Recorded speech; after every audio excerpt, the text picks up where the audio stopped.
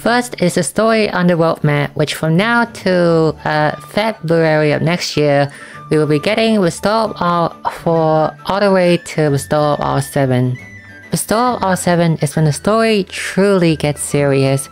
We get a new title screen, we go to a new area, and we also get a new weapon type. So look forward to that.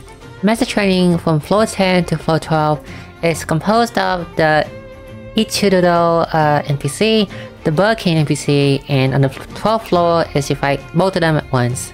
Elite training is what I call the Raid Boss Tower, which is where you fight the enemy in multiple teams.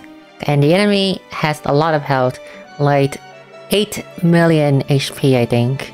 Each attempt you have 15 turns to deal as much damage to the enemy as possible, and you beat the boss under Using 3 teams or less, you will get the maximum amount of reward.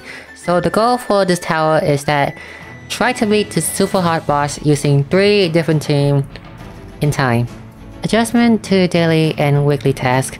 This one mean that I think this one is talking about how they changing the daily a bit. As in they're removing two of the quests. They're removing the Cell 5 and Cell 10 materials so in your daily routine now, you have one less action to do and the amount of rubies is still the same. It's just that after the adjustment, it should be a bit faster. Boss rematch is when you can fight the boss again, but there's also an option to fight them in the EX version. And an EX boss has a lot of health and a lot more stat to them, but you also get rubies as reward, fragment to exchange for strong accessory, and also crystal to summon them in battle. And when I mean summon them, it's like summon them as an ally in battle.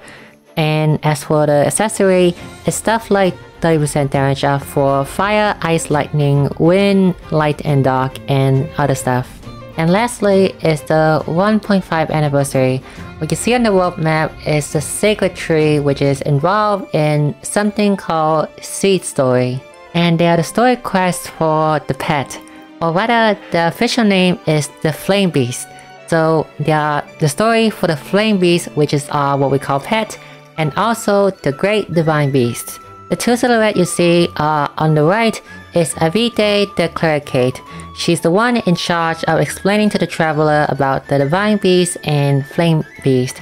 Kind of like how Week uh, explained to the traveler about the board game and how Kyun explained to the traveler about the drop tower. The silhouette on the left is Litorena, who is the Witch's Salvation and also currently right now in JP, the most strongest magic damage dealer right now in the game. But I doubt Litorena is our anniversary unit though, because she's she shelved the story and is the one that gave you the Manuscript of Salvation, which is an upgrade to the current memoir and also has a lot more feature in it. I will explain more about these features when the 1.5 anniversary arrives. Though there's two things that I didn't see on this roadmap though. One is that the Dragon Board is kind of late for EN already.